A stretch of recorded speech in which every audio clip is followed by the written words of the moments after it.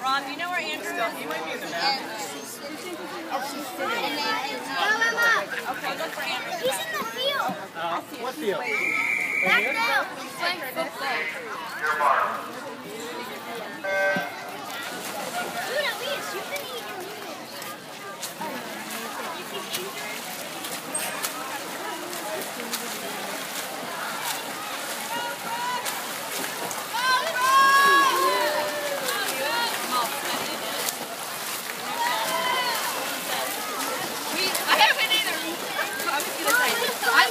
Like, I don't, and even with that.